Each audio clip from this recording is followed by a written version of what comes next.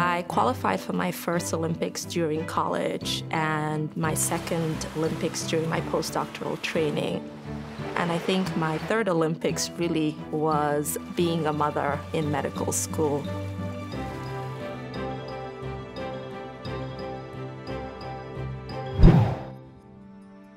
I first came to the United States as a 16 year old from Nigeria on a full scholarship to attend college. I had the dream of always going to medical school. However, being a foreign student, um, it was very challenging to get funding. While I was in college, I got really interested in research and then pursued a PhD. And in that process, became eligible to apply for scholarships and loans by getting permanent residency. Scholarship was really key in making the decision to go to medical school because at the time I was looking to start a family, which comes with its own financial burden. And so being able to go to an institution like Weill Cornell that supported students in need was critical.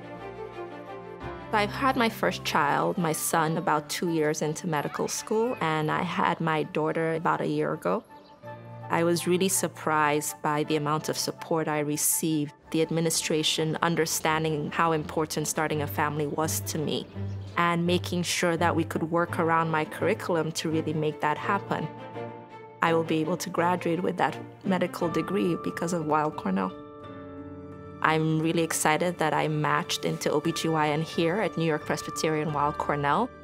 I want to keep dreaming big. I want to be an innovator. I want to be a leader in the field.